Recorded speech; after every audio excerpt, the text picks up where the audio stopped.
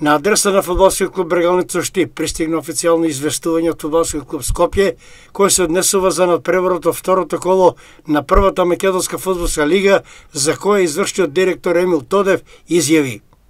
Добивме официјално известување од фудбалскиот клуб Скопје дека поради ковид ситуацијата и актуалните протоколи нема да има продажба на билети за неделниот надпревар со Брегалница – Од фудбалскиот клуб Скопје ни информира дека на надпреварот ќе присуствуваат единствено домашни навивачи со сезонски билети.